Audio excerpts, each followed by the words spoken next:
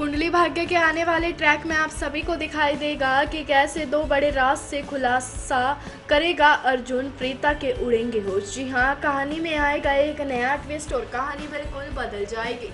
आपको बता दें अपकमिंग ट्रैक के बारे में, जहाँ अब अर्जुन पाँच साल पहले का सच बताने वाला है प्रीता को।